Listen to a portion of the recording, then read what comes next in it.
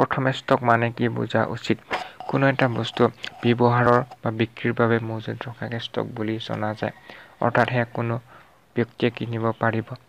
ঠিক তেনেকৈ কোনো এটা কোম্পানীৰ মালিককো কিনা বেচা কৰিবৰ বাবে ষ্টকত ৰখা হয়। অৰ্থাৎ তুমি কোনো এটা কোম্পানীৰ ষ্টক কিনাৰ লগে লগে সেই কোম্পানীটোৰ শ্বেয়াৰ পাৰ্চন হৈ যাবা। অৰ্থাৎ শ্বেয়াৰ মাৰ্কেটত ইনভেষ্ট কৰা হ'ব। কিন্তু তুমি শ্বেয়াৰ মাৰ্কেটত ইনভেষ্ট কৰি ধনী হ'ব পাৰিব নে নোৱাৰিব?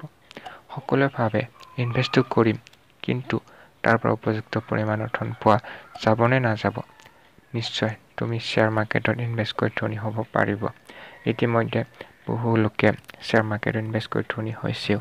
বিশেষকৈ ইণ্ডিয়াত N S C National Stock Exchange আৰু B S E Bombay Stock Exchange দুটা আছে।